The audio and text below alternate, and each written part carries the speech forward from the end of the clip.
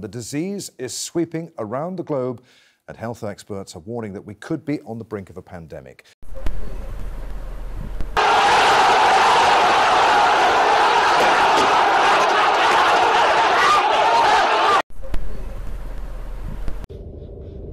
It's working. God, it's fucking working. So it's day 300 and, 344. The colony I was with was gone. We've been overrun. I just don't know what to do anymore. I managed to grab one of the last remaining vehicles and flee. Everyone else was dead.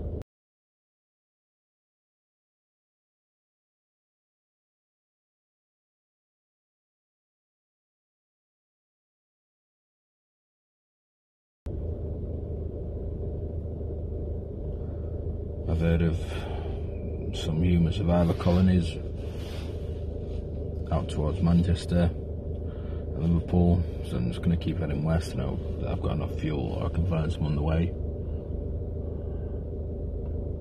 But it's uh, it's not good. It's not good.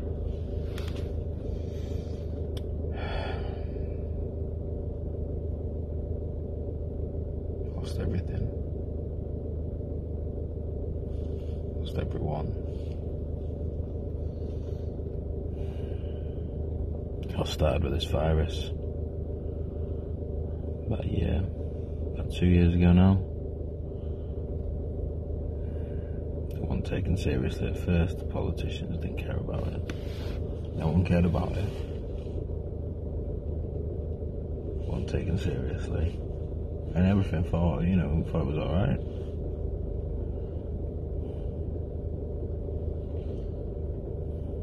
And the dead started coming back to life. That's when shit hit the fucking fan. Civilization went to shit. The world bankrupted itself. Don't ask me how the fuck that happened I ain't got a clue. Looking for cures and God knows what, but the virus just spread too rapidly after they started coming back to life. You know, it wasn't just an invisible virus anymore, there was people getting bitten. Yeah, we killed themselves and then coming back. It's almost as if the virus has infected everyone already. And once you die, you come back as one of them.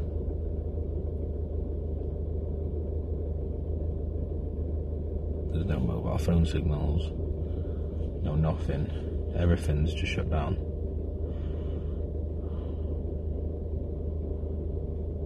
I've got about enough fuel to get me from this end of Yorkshire to maybe the other end of West Yorkshire. I'm gonna have to try and find something there.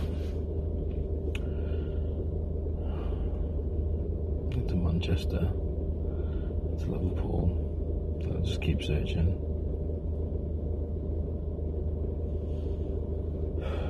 If you find this, assume that I'm dead.